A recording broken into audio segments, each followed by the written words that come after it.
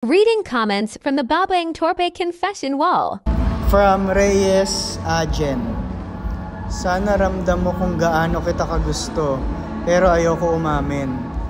Pero happy ako sa kung ano man meron sa atin.